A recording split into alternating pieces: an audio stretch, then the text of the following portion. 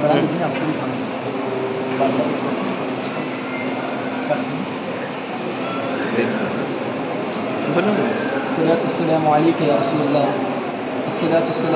या रसूल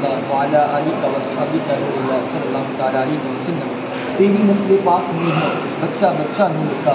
तेरी नस्ल पाक में है बच्चा बच्चा नूर का तू है आइन नूर तेरा सब घराना नूर का अल्हम्दुलिल्लाह रब्बिल आलमीन सरजमीन इराक़ पर आज हम जिस आस्थाने पर हाजिर हैं हज़रत सैदना मुस्लिम बिन अकील रज़ी अल्लाह के उन नन्हे शहदा के मज़ारात पर थे एक हज़रत इब्राहिम बिन मुस्लिम बिन अकील रज़ी और दूसरे मोहम्मद बिन मुस्लिम बिन अकील रज़ी जब करबला के मौरक़े से कब इमाम आली मकाम इमाम हुसैन ने अपने भाई हज़रत मुस्लिम बिन अकील रज़ी अल्लाह को कोफा की सरजमीन पर भेजा, अपना नाइब बनाने के लिए, ताकि लोग आपके हाथ पर बैठ कर इमाम हुसैन के लिए तो वहाँ पर बाद में आपको बेदर्दी के साथ शहीद कर दिया गया। और जब हज़रत मुस्लिम बिन अकील यहाँ पर कोफा की ज़मीन पर आए तो आपके साथ आपके दोनों फर्जन भी थे, जो कम उम्र में हैं। रिवायत में आता है कि आप सात से आठ साल के या आठ से दस साल की उम्र के आपके ये दोनों फर्जन थे। और जब आप कोफा की सरजमीन पर आए तो आपकी शहादत के बाद ये बच्चे जो हैं यहाँ से फिरते रहे, पूरे कोफा के अंदर दौड़ते रहे। इसलिए कि इबन ज़ियाद बदनिहाद ने उन बच्चों के ऊपर इनाम रख दिया था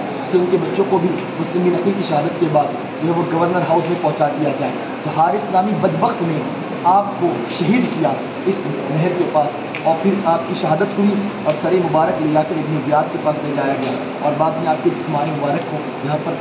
तदफीन की गई। ये मज़ार मुकदस आस्थाना रोज़ा हज़रत मोहम्मद बिन मुस्लिम फ़कीर रजील